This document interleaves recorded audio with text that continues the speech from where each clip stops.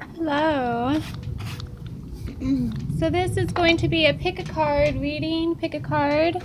This question is going to be whether or not you can trust your man.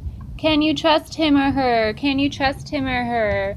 Pick a card, pick a rose, left or right, pick a rose, left or right. Can you trust him or her? Can you trust him or her? If you chose the left one, you can trust him. Yes, if you chose the right one, you cannot trust him. No. Okay, and the next. So this is whether or not your person is a good person or a bad person. A good person or a bad person. This is for the males. A good person or bad person. Is this person have your best interests at heart or not? Okay. This one is the left is you cannot. To the right, you can. You can trust. Okay. This is betrayal and trickery, and this is beautiful roses and flowers and invitations. Okay, the next one is going to be whether or not happiness or sadness, happiness or sadness, happiness or delusion, clarity or delusion. So pick left or right, left or right. If you pick the left one, there is delusion, there is no clarity, there is betrayal. If you picked the right one, it's happy and sunny and shining. All good to go. Very clear thoughts you have there. Whatever your intuition is telling you, you're right. Okay, so there's that. And let's do the next one. This one is if you are thinking of doing a new beginning or staying where you're at. Okay, new beginning or staying where you're at. So pick a rose left or right, new beginning or staying where you're at.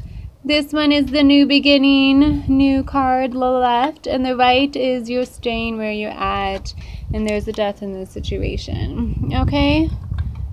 The next one, we're going to see if you're going to find a man or a child, a man or a child, man or child. Pick left or right, pick a rose. So if you pick the left one, it's a child. If you pick the right one, it's the man, it's the gentleman. Okay? Um, the next one is if you're going to get married or not. Are you going to get married or not? This left or right, are you going to be married or not? The left looks like just bouquets for you, and the right is yes, you will get married. So right now, to the left ones, he's just giving you bouquets. To the right, he is going to marry you.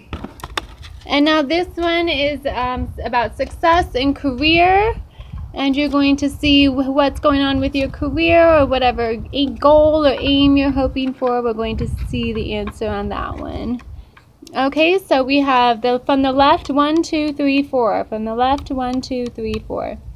So from the left, this one is your ship is sailing off. Your ship is sailing off.